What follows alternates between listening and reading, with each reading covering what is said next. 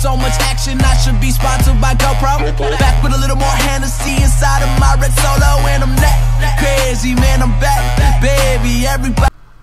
Hello guys, what's going on? ProThief here, and we've got new year, and this is another rare paint job, and this is Dark Matter. So what you want to do this, head down to Santos Customs, and pick a car of your choice, and you want to have, um, you want to go to respray, and you want to go on to primary colour, then you want to go on to metals, and you want the brush black steel. After you've done that, you want to apply a pearlescent. Obviously you can't do this, so you want to do this glitch where you uh, click on me metallic and hover uh, down any colour for around 5 seconds and then go um, into plates and then change your plate and then you can go back to primary colour and you can select the pearlescent. The pearlescent you want is ultra blue. This is makes the blue of the dark matter. So basically that's what you want.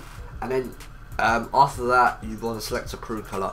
I'll leave the crew colour on the screen right now. And this crew colour you just want to apply. And this will make the dark matter. As you can see the uh, the ultra blue is on the car now.